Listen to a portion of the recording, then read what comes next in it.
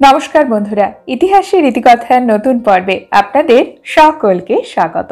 বন্ধুরা, শিব পুজো আমরা প্রায় প্রত্যেকেই করি। প্রত্যেকের বাড়িতেই রয়েছে মহাদেবের ছবি, মূর্তি বা শিবলিঙ্গ। আজকের পর্বে আমরা জানব কোন শিবলিঙ্গ বাড়ির জন্য উপযুক্ত। কেমন শিবলিঙ্গ বাড়িতে থাকলে সেটি শুভ এবং কোন ধরনের শিবলিঙ্গ বাড়িতে রাখতে নেই, আসুন জেনে নেওয়া যাক। প্রত্যেক সোমবারে ভক্তরা মহাদেবের আরাধনা করে। এছাড়াও প্রত্যেক মাসের কৃষ্ণপক্ষের চতুর্দশী তিথিতে অনুষ্ঠিত হয় শিবরাত্রি। অন্যদিকে ফাল্গুন মাসের কৃষ্ণপক্ষের চতুর্দশীতে হয় মহাশিবরাত্রি। প্রদোষকালে মহাদেবের পুজো করার নিয়ম। এছাড়াও শ্রাবণ মাস জুড়ে ভক্তরা মহাদেবের আরাধনা করে। অনেকে ষোলো সোমবার ব্রত শুরু করে। মহাদেবের পুজো হিন্দু ধর্মে বিশেষ মান্যতা পেয়েছে। আমরা শিব পুজো বেশিরভাগ ক্ষেত্রেই শিবলিঙ্গে করি। মহাদেবকে প্রতীক হিসেবে পুজো করি। শিবলিঙ্গ বাড়িতে থাকা খুবই শুভ। তবে এমন এমন শিবলিঙ্গ রয়েছে যেটি গৃহস্থ বাড়িতে রাখতে নেই, সেটি মন্দিরে রাখা হয়। শিবভক্তরা মহাদেবের নানান ধরনের মূর্তি এবং ছবিও বাড়িতে রাখেন। তবে মহাদেবের যে ছবি বাড়িতে রাখা উচিত, সেটি হলো মহাদেবের ধ্যানরত ছবি। তার রুদ্র ছবি বাড়িতে রাখতে নেই। অর্থাৎ মহাদেব রেগে রয়েছেন অথবা তিনি নৃত্য করছেন, এমন ছবি রাখতে নেই। মহাদেবের ধ্যানরত ছবি অথবা যে ছবিতে মহাদেব তার পরিবারের সাথে রয়েছেন, মা পার্বতীর সাথে রয়েছেন, গণেশ এবং কার্তিক তার সাথে রয়েছে, অর্থাৎ পরিবারের ছবি মহাদেবের পুরো পরিবারের ছবি। সেই ছবিও বাড়িতে রাখতে পারেন। ভোলে বাবা অল্পেতেই সন্তুষ্ট। মনের ভক্তি, ভালোবাসা, শ্রদ্ধা এবং নিষ্ঠার সঙ্গে গঙ্গা জল, বেলপাতা সামান্য দুধ দিলেই মহাদেব সন্তুষ্ট হন। আমরা বাড়িতে যে শিবলিঙ্গ রাখি তা কখনোই যেন সাদা রঙে না হয়। সাদা রঙের শিবলিঙ্গ মন্দিরে থাকে। এটি বাড়িতে প্রতিষ্ঠা করা উচিত নয়। বাড়ির জন্য সবসময় কালো রঙের শিবলিঙ্গ প্রতিষ্ঠা করবেন। আর বন্ধুরা, যদি আপনি বাড়িতে সাদা রঙের শিবলিঙ্গ প্রতিষ্ঠা করে থাকেন, তার পুজোর কিন্তু আলাদা নিয়মও রয়েছে। আমরা বাড়িতে যে পাথরের কালো শিবলিঙ্গে পুজো করি মহাদেবের, আমরা অনেক সময় বাড়ির বাইরে থাকি। পাঁচ দিন, সাত দিন, এক সপ্তাহ, দু সপ্তাহ কখনো মাসও হয়ে যায়। কোনো কাজে বা কোনো কারণে আমরা বাড়ির বাইরে আমাদের থাকতে হয়। তখন কিন্তু আমরা পুজো দিতে পারি না।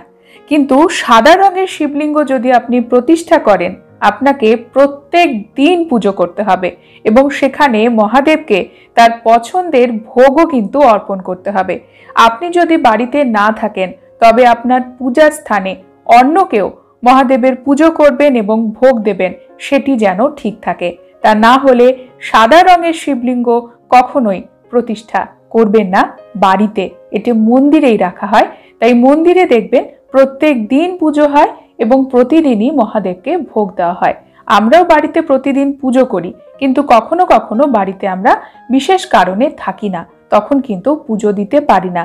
তাই এক্ষেত্রে কালো রঙের শিবলিঙ্গ শ্রেষ্ঠ বাড়ির জন্য।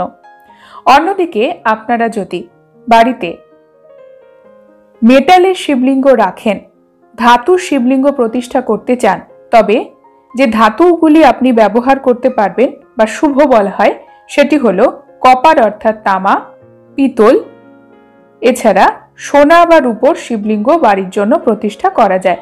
এক্ষেত্রে মহাদেবের যে সাপ থাকবে, সেই সাপও কিন্তু সেই ধাতুরই হতে হবে। ক্রিস্টাল পাথরের শিবলিঙ্গ অনেকে বাড়িতে প্রতিষ্ঠা করেন। এটি একটি বিশেষ ধরনের রত্ন। এটিও প্রতিষ্ঠা করা যায় তবে আপনার বাড়িতে এটি প্রতিষ্ঠার জন্য উপযুক্ত কিনা সেটি আপনার বাড়ির পারিবারিক যে পুরোহিত দীর্ঘদিন ধরে আপনার বাড়িতে পুজো করছেন, তিনি ভালোভাবে বলতে পারবেন আপনার জন্য সেটি উপযুক্ত কিনা। তবে কাচের শিবলিঙ্গ কখনোই বাড়িতে রাখবেন না, সেটি পুজোর জন্য রাখবেন না, এমনিও কোথাও সাজিয়ে রাখার জন্য কাচের শিবলিঙ্গ রাখবেন না। মহাদেবের পুজোতে কখনোই স্টিলের বাসনও ব্যবহার করবেন না।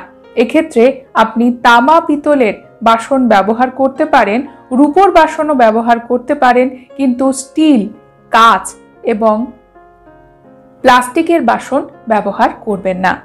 শিবলিঙ্গ খুব বড় হওয়া ঠিক নয়, গৃহস্থ বাড়ির জন্য। আপনার হাতের মধ্যে শিবলিঙ্গ, আপনার হাতের তালুর মধ্যে শিবলিঙ্গ যাতে থাকতে পারে, এরকম ছোট শিবলিঙ্গই বাড়ির জন্য উপযুক্ত। অনেকে দেখতে সুন্দর লাগবে এই রকম ভাবে শিবলিঙ্গ প্রতিষ্ঠা করেন। কিন্তু বাড়ির জন্য বড় শিবলিঙ্গ কখনো উপযুক্ত নয়, এটি মন্দিরের জন্য উপযুক্ত।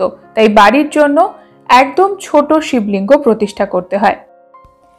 কালো রঙের শিবলিঙ্গ যখন প্রতিষ্ঠা করবেন, তখন দেখবেন সেই পাথরটি যেন ভালো হয়, পরিষ্কার এবং চকচকে, আর কোথাও যেন ভাঙা না থাকে। সেটি দেখেই শিবলিঙ্গ কিনবেন এবং সেটি প্রতিষ্ঠা করতে পারেন। বন্ধুরা, আজকের পর্ব এখানে শেষ করছি। পরবর্তী পর্বে নতুন একটি বিষয় নিয়ে আপনাদের সঙ্গে কথা হবে। ততক্ষণ সকলে সুস্থ থাকুন, ভালো থাকুন, আর পুরো ভিডিওটি দেখার জন্য আপনাদের অসংখ্য অসংখ্য ধন্যবাদ।